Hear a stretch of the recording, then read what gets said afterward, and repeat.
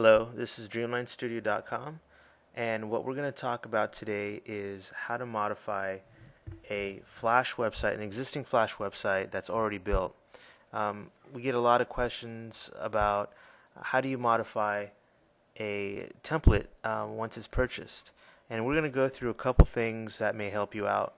Um, first things first is um, um, there's really two two elements to a site, uh, two main uh, panels to a Flash site, or actually a Flash interface. When you buy a template, is you're going to have your your timeline here, um, and you're also going to have your stage, which is right below the timeline. Now, sometimes when you buy a product, um, there's seems to be nothing there. Uh, don't let that fool you. All that means is that your timeline is set at uh, 1. And what you generally need to do is grab the slider, grab the slider, and move it across the timeline. When I do that, things are going to start to appear. So I'm at frame uh, 23. I'm going to move it down this way. Uh, as you can see, you're going to start to see elements um, on the stage. So the first thing to do is just move the uh, the slider across um, and and watch the elements um, come to place. Okay. Sometimes when you do buy a flash template, there's only one frame and there's nothing there.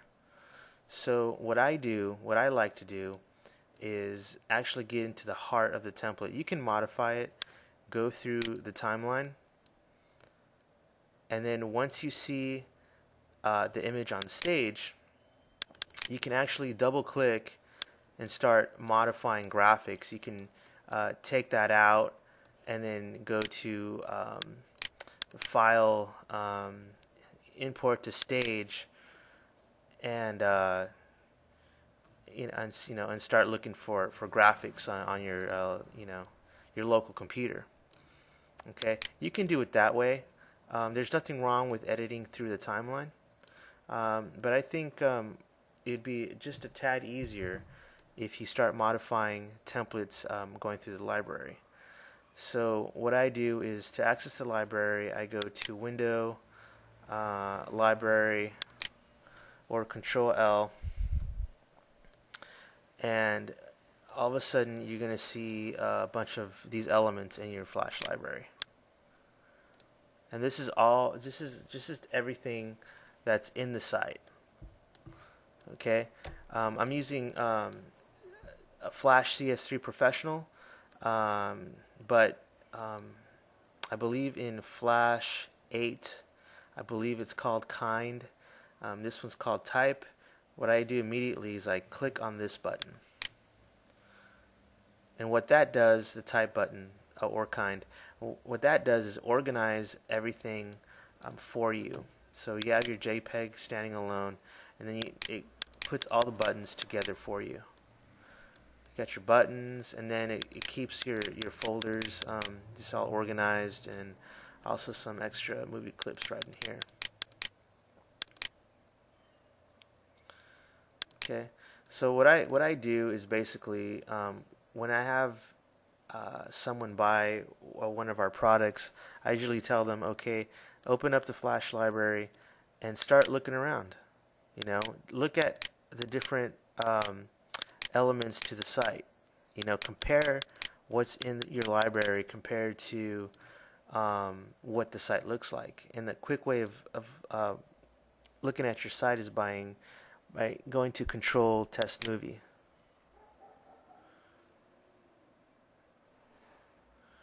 Okay, it's testing. Alright. I'm going to turn off the music here. Uh, but here's main 1, main 2. Click on these different buttons and see what uh, what each thing does uh, and so forth. And then compare that to what's actually in your library. And you're going to start seeing, okay, there was the link for that site. And um, you can double click. For example, if you want to change the text for closed window to something else, you can double click on that. And when you do that, um, you're going to start to see it on the uh, on the stage. Let's see, bring this up. close window right there. Um, then you can double click on it and just leave it at close if you want to, or just add your own text. And I did that all by just going into the library and finding out um, which uh, uh, which aspect of the template um, it belongs to. Um, that is pretty much the best way to go in there and modify what's already there. Um, so me personally, I use a combination.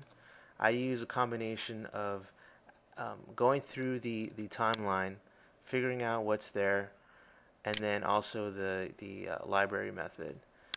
Um, when you're when you're done making your modifications, um, just simply go to um, File, Save As, and uh, save it as um, uh, your, basically your your file.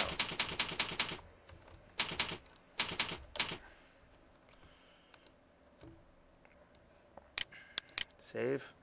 Um, then what I do after that, immediately after that, um, I could go to, um, I can embed it automatically into an HTML file by choosing File, um, Publish, uh, Publish Preview, and choose HTML. Okay, what that will do is um, is create a HTML uh, um, for that. Let's test the movie.